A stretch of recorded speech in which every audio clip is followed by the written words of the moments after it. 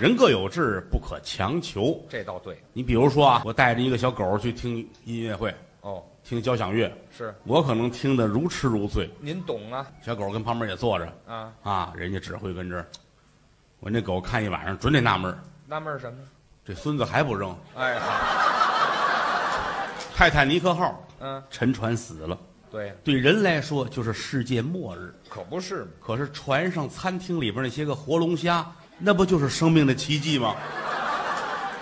嗯 好多事儿比如说啊，俩说相声往台上一站，是郭德纲剃这么一头，于老师弄这么一个头，是，啊，配合每个人不一样的相貌、嗯气质，嗯，对不对？你看于老师好烫个头，身体发肤受之父母对了，啊，嗯头发爹妈给的，所以古代拢发包巾对，都这样，一直到清朝，嗯，清朝全剃了。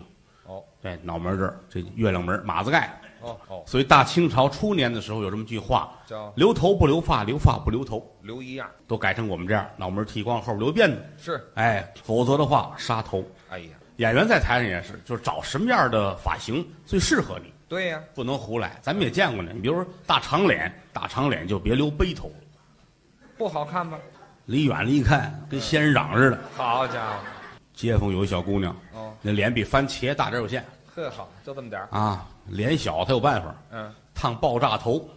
嚯，你琢磨，大爆炸头里边露这么一玩意儿，啊，咱又见了谢顶了，哦，秃了，秃了，这很正常，啊，哦，这都卸的差不多了啊，啊，几乎全卸光，这儿还有一撮儿有点儿，把它弄过来，哎，只要不刮风没事儿，啊一刮风，啊。这儿二尺跟这抖楞着，嚯，